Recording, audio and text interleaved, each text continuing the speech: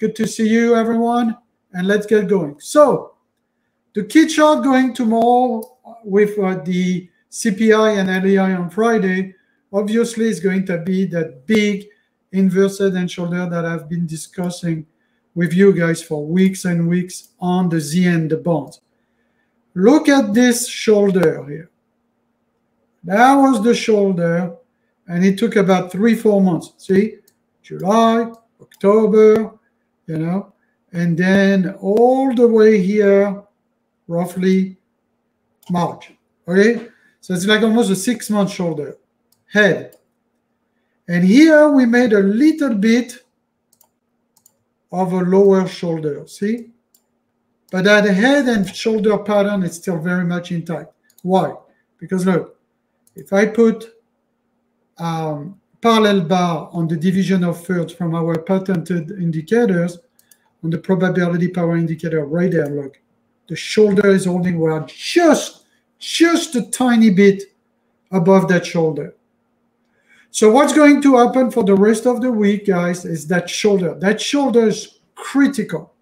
If we hold above this 108, roughly 27, right, on the bonds, be careful shorting the market. Because if the bond goes up, goes up, goes up, goes up, and they maintain the synergy of that shoulder from the division of third here to the division of third here, the gray boxes on both sides, right? It is very, very similar to here, right? This shoulder, and this is the entire head. So you got to be very careful, even if the CPI numbers are not good. You could have initially deep, like a quick dip, a quick weak on the downside, and this is where I would add more on the uh, more of the stuff that I want. So what are the stuff that I want? Tesla, 158, 170. I bought a little bit more of a Tesla this week, and I'll show you. And we'll look at the stock screener for best opportunity in cryptos and stocks, right? I added a little bit on my position on ARM which is an AI play, right? So each time we are going to dip, if the CPI number is above the 2.4 tomorrow, right? At the beginning, the gap is going to rock the market. If it rocks the market, it could be a 515 SPY, 518 SPY support back up, right? And that dip there'll be people buying. People are buying the dip. There's so much money on the sideline right now that people are buying the dip. So the short-term power trend signal has turned up on the bonds. See, institutional blue, major blue, minor blue, but we still have the long-term down. So to me, the key is going to be that head and shoulder division, and especially that white line from the previous dip here. Okay, you have, of course, the divisions here from the probability power indicator. So let's say they dip again a little bit from that 108.27. We want this 108.08 to hold. So pretty much we want those two numbers to hold on the bond. If we pass those two numbers on the bond, then it's not good because then they could break this prior low of 107.02 and go for a new low, which will be a 100% probability of a buy all the way to the 103.30, right? And that would be really bad. That would be something in the economy, something in the forecast of the QT starting and the injections of money and the rate cut coming would be a negative uh, uh, for the bonds here because the bond is projected that QD is going to restart June, July, which is bullish for bonds and uh, bullish for the market, and that rates are going to decrease somewhere between June and September. If you see tomorrow after the CPI, the break of this 108.27 and that's 108.08, guys, be very careful because that would open the gate to the new low below the 107 all the way to the 104. And that would take the entire market by surprise because this would push probably the market back towards the 4,800 from where we are, right?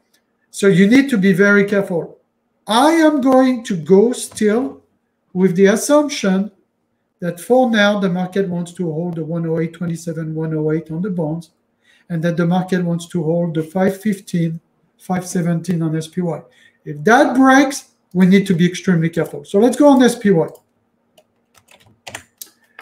We're going to do an entire market review. Then we'll look here. I prepared for you the probability power indicator patented screeners so that we can look for the best opportunity long term and short term in cryptos and in stocks right there. We'll go over them later on. And we are going to do uh, a quick review on some of the best stocks to watch for swing trading and long term investing, and also your overall idea coming into CPI and PPI. So here is your probability box rule of thumb.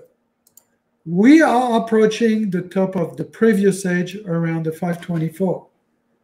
But look at my next edge now. It's all the way to the 543. So I know we have 87% chance of a retracement, but I know that the retracement box is anywhere between that 525, 543.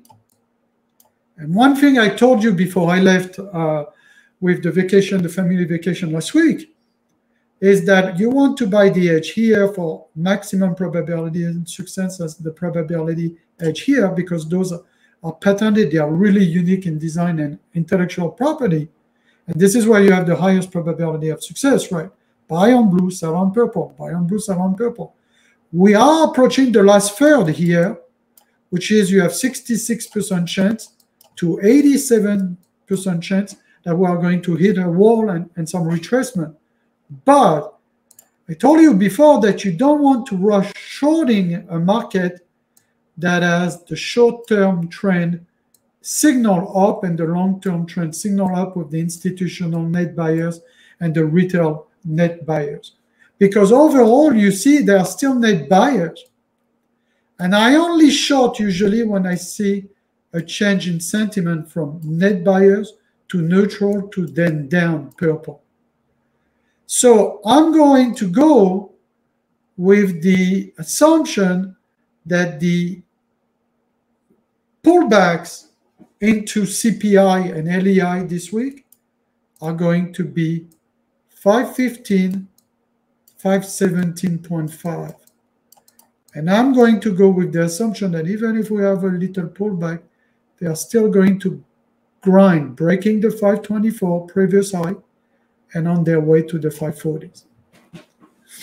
I know market has been has been grinding, grinding up, but until you have the probability power trend changing, what you think is not really important. The fact that I think this market is ridiculous doesn't mean anything. What means something is, look, you have a structural line here support at 460, you have division of thirds here at 450, you have another divisions of thirds here at 487, 492, and it's holding. And it's holding here the, those high here and the division of thirds here. So really, even if the market was to pump above the 425, 427, retrace all the way here to 492 to this 480 that we gave two weeks ago, right? The market would still be very, very strong anyway. As a matter of fact, I'd probably make the case that even if you go all the way to the trend line at 470, right here, to the 485, the market is still very strong. So people are going to continue buying the pullback, buying the pullback because there's no other choice. You know, the Feds, the Feds are stuck here. They are stuck with low growth, right? High inflation, so stagnation, right? And printing money. So if they decrease rate, more inflation. If they increase rate, more economical downfall and weakness. Feds are screwed here. I mean, and and there was an interesting article here on Zero Hedge talking about this. As a matter of fact, I don't know if you can see it. Uh, right there, yeah. Peter Schiff said here, you know, does the Fed hike rates even though there's a recession and even though the hikes will make this recession worse? Or will the Fed ignore the inflation problem, like the PPI number this morning, and try to rescue the economy by creating more inflation? So the Feds are really screwed, and I think they are going to do everything to prop all the assets. Even if we go back at 475, 485, it's a Christmas gift. They are going to do everything to push this market towards those 550 plus, right? Within the next six months. Yeah. You'll have pullback before the elections. But if you do have the break tomorrow of this uh, 517, right? 515, then you have that 508 break. 508 break brings you to the 470, 485. It's a Christmas gift because they have no other choice than printing, printing, printing, printing, opening QD and decreasing rates because the economy is not doing great. So they are really stuck, which means I would be very, very afraid of the next cycle. Because on the next cycle, three years, hopefully, who knows? I don't know, maybe we'll get another president or not. But no matter what, it's it's it's we need something that is going to inspire confidence for the next three four years in the cycle to continue this asset buying asset on pullback, right? Because otherwise we are screwed. And I would be very, very careful in three, four years that you you stay in your asset. But the, the thing is, the people who have assets they keep up with inflation. So people who have homes, you've seen your homes going up 35 to 50% in the last four years. That's just a fact, nationwide. People who have stock portfolio have seen their portfolios flying 2023, end of 2023, beginning of 2024, right? So coming into tomorrow, the only way you are going to see if we have the retracement coming or not to that trend line is to look at that ZN number that I gave you, which is this 108.27 and this 108. If we break that, we open the dam for 104, which would be a new low on the bonds. And maybe at that point, they are going to start uh, cutting aggressively. You got to watch that head and shoulders that I was showing you 10 minutes ago. And by the way, we have a lot of updates that we do uh, live into the new Think Wealth uh, Differently community. It's the brand new community we opened last week, guys. I have not even sent emails. Uh, here you have your classroom, your free classroom. So we are giving you a risk management class that is like two or three hour long. There was a master class that we charged for last year. The rule of third to master any indicator or box box your trading ranges asymmetrical risk, credit spread, iron condor, iron fly, how to defend your options that go options trades that goes bad. You have the calendar of events, so you don't have to chase us. When do we go live? When do we go to Zoom? Like next week, we'll do a three-day private event free on showing you step by step the pyramid of wealth, day trading, swing trading, and the pyramid of wealth with asset protections, tax efficiency, all the stuff that I've done with infinity banking, life insurance, you know, annuities and stuff like that, and also on how I buy real estate with that. So that will be next week. So all the calendar of event is there. Your classroom are there. Then the community talk is here.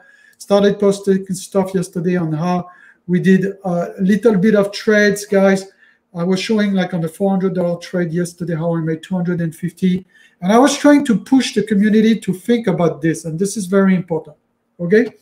I was trying to to to push the community to think in terms of return on investment versus oh I want to make a thousand dollars. I want to make two thousand dollars. When you start thinking like this guys I'm telling you I've done it for a long time. I have five kids you know, three of my boys here, one in the military, the football one in the military. This summer is going to be at Fort Eisenhower in Georgia, right? and the other two are working, right? So I have kids that are maybe your age, between 20 and 30 years old, guys, right? And I was trying to explain that to everybody in the community is you want to think in terms of return on investment. If Warren Buffett is the best investor of all time with 40 years of compounded return of 20%, and the true rate of inflation is 12 to 15%, each time you buy an option at 70 cents and it goes up 14 cents, it does not look like much. But if in 10 minutes your options went up 20%, and that's how you have to think, you beat Warren Buffett and you beat the rate of inflation. So it's all about taking a symmetrical risk. Small trades that get big. I repeat, small trades that get big. So where your downside is not a lot and now your upside is a lot, so that you can fight this inflation issues that we have in the world. Compounded tax returns, tax returns, on returns. You know, when you have a 20% compounded of return like this, see, I made like 50% return in, you can see all the trades. I was posting my trades here, so you can see I was buying, let me show you here. So I was buying here the seven contract, and look, you can see the entire screen here. Seven contract at uh, 69 cents, 63 cents, 63 cents. It does not look much because you've seen me doing $20,000, $50,000 on the day trading zones channel. I'm trying to show you stuff that everybody can do. Everybody has $400. So you have 63 cents, 63 cents, 69 cents without false promises. Then selling at $1.06 from the bottom 63 cents to $1.06, that's a rate of return of 58%. So you got to go for single and doubles. You don't want to go for the home run. Each time you are going to go for the home run, guys, you'll get destroyed. So get into the Wealth differently.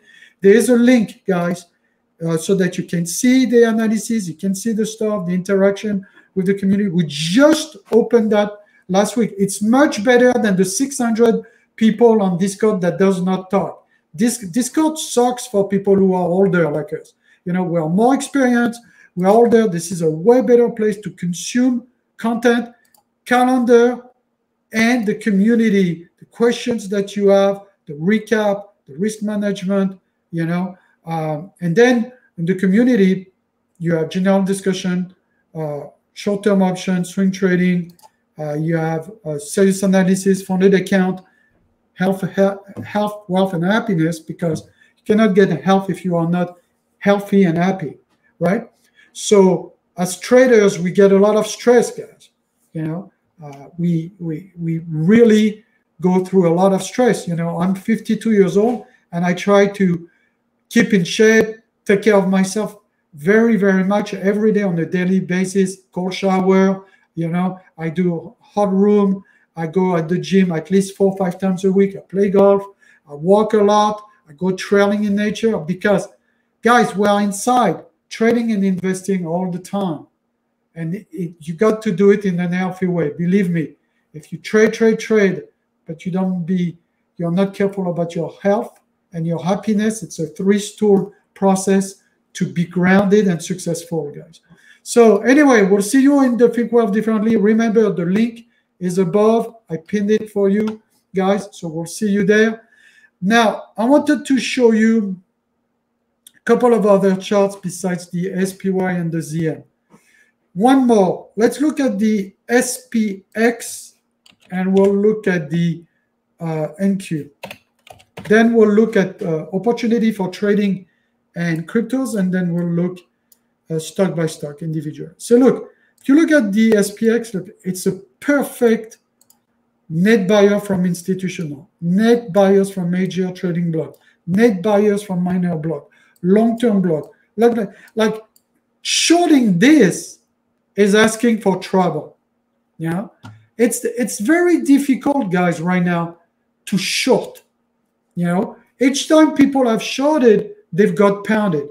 So I was telling that in the uh, Think Wealth Differently community that if you are going to approach the short, approach the short in the smart way right now, which is number one, small sizes because everybody is buying the pullback big institutions everybody it's, it's they're waiting with uh, a lot of money on the sideline. So small sizes or smaller sizes than your long. Two, less trades on the short side. Like really pick and choose your entry point at the edge of the calculators. For me, it's 527, 525 there. Let's call it 526 to the 550. That has a higher probability, right? Now, I have a super high probability to enter here, 470, 485 on the long side. If this thing pulls back one more time before it makes the double top, you know, uh, before the elections or past the election. Three, if you are going to do shorts, especially in options, I recommend most of your sizes close at 415 because we know the prevalent trend, of the cycle is buy pullback right now. That's it. Until proven otherwise, that's what it is. For, third, number B, if you are going to be short overnight, what I do, I tell you what I do. I stay no more than 300 delta. So it's relatively small. That's my max delta intranight when I look at my position short. And I have a lot, a lot of duration. I go September, January 2025 for the overnight. Because if I get clipped, and I think there's a way that it will rebound before my expiration, I might just, you know, uh, if there's a gap down, I might do a, a, call credit spread against my my my trade. Uh, I might do uh, a, add a put against my trade. There's a lot of ways that you can offset position. I can create a parachute trade, which you can learn the process of defending options trades that goes badly here on your classroom. It's free. Classroom investing trading. Click here. Go to the bottom defensive strategy to protect iron condor and stuff. It's the same principle. I'll talk about the parachute trade on our three days event next week. We'll do a three day, one hour every night event Tuesday. I'll try to do next Tuesday, Wednesday, and Thursday. Now, when you look at the SPX, it's the same principle. You know, it's blue, blue, blue, blue. So at the very least, coming into CPI tomorrow, I want to see if we are sustaining above or below the 40, 52.75 right there. So 52.75 is going to be a huge, huge resistance for tomorrow CPI and LEI. Then, if we stay and sustain above the 42.75, we're on our way here towards the 5500, 54.75. So my guess is tomorrow the big number to watch is this. Gap up, gap down, are we below or above this 52.75? If they start selling off, look at the edge retracement, which will be the 49.40. 49.40 on the SPX, you know, over the next few weeks could be the, the next one.